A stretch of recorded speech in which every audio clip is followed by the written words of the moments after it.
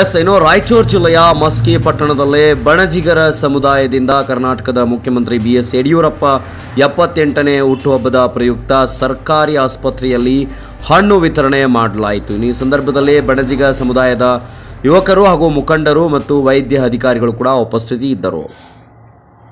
ಮುಖ್ಯಮಂತ್ರಿಗಳು, ಅಭಿವೃದ್ಧಿಯ ಹರಿಕಾರರು ಹಾಗೂ ರೈತ, ರೈತರ ಆಶಾಕಿರಣವಾದಂಥ ಸನ್ಮಾನ್ಯ ಮುಖ್ಯಮಂತ್ರಿಗಳಾದಂಥ ಬಿ ಎಸ್ ಯಡಿಯೂರಪ್ಪನವರ ಎಪ್ಪತ್ತೆಂಟನೇ ವರ್ಷದ ಹುಟ್ಟುಹಬ್ಬವನ್ನು ನಮ್ಮ ಮಸ್ಕಿಯ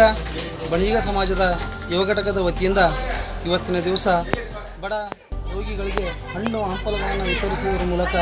ಇವತ್ತಿನ ದಿವಸ ಹುಟ್ಟುಹಬ್ಬವನ್ನು ಆಚರಿಸ್ತಾ ಇದ್ದೇವೆ.